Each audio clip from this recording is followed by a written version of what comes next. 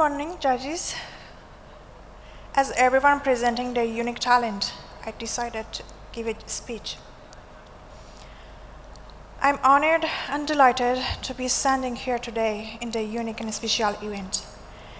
I have often found the best life lessons are learned from those who are keen to tell you how you can improve. Whether it is constructive or not, it might not feel like that at the time, but when someone doubts you or says you cannot do something well, that's when you often find a moment when a fire of a passion it is inside you to say, I will do this. I'm a doctor of pharmacy, and I can safely say that after nearly seven years of study, there is a lot I don't know. There is still a lot that I need to learn. Let me tell you some of the things that I have learned along the way when I have been formulating my career. Um, be always open to collaboration. I would be honored to collaborate with anyone here at some point. And also work in partnership with colleagues and contemporaries.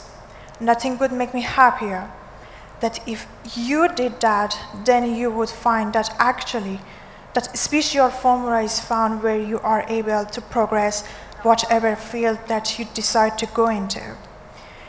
Your ego always needs to be kept in check you might need to learn to harness some of that power of your ambition in order to make sure that you are allowing others among the way to be lifted.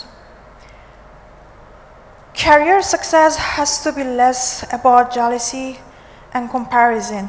I know it's very easy to compare what the, uh, what the next person next to you is doing, but it's more about reaching your goals. Every day try to move into spaces where you feel fearful, boating out of the workplace that might be you are going to make really important decision that make you feel uncomfortable or trying to even something simple like an exercise that makes you uh, out of your comfort zone. Uh, that fear and prevent you from attaining your goal that you will need to come over. Believe me, on the other side of the fear is a whole world of fun and it's so much amazing good stuff that's happening on that side. I will tell you, you will have high and lows. I have had many in my career. One day you will might be lavish with praise, and yet next you will be showered with insult, and I have had both. My advice is to remember the highs and record them somehow and refer to them whenever you hit those inevitable lows. After all, life is a journey, not a destination. Thank you.